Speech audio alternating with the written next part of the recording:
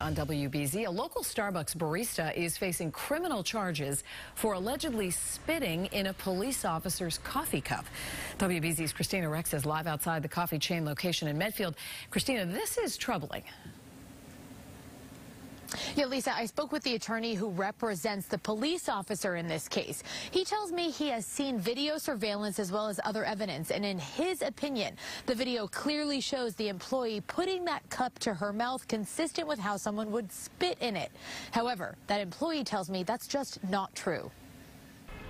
A Medfield Starbucks employee is facing criminal charges after allegedly spitting in a Norfolk police officer's coffee. According to the police report, the officer was waiting for his coffee at the Main Street Starbucks back on May 25th when he noticed the employee put the cup to her mouth behind the counter.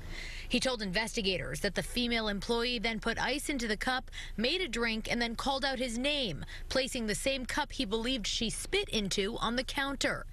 Police have reviewed surveillance video, and after a probable cause hearing in late November, the court issued a criminal complaint, charging the employee with felony level distribution of food with a harmful substance, misdemeanor assault, and adulterated or misbranded food. A Starbucks spokesperson tells WBZ the company has a deep respect for the law enforcement officers who keep our partners and communities safe, that they're unable to comment on pending litigation, and that they're aware of the allegation. They say as soon as the company learned of the allegation, it moved quickly to investigate, but so far has not been able to substantiate the claims.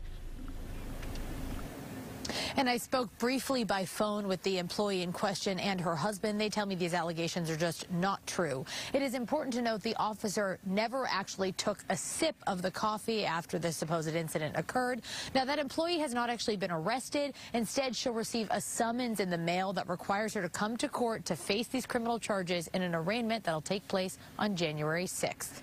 Live in Medfield, Kristina Rex, WBZ News. All right, Kristina, thank you. Well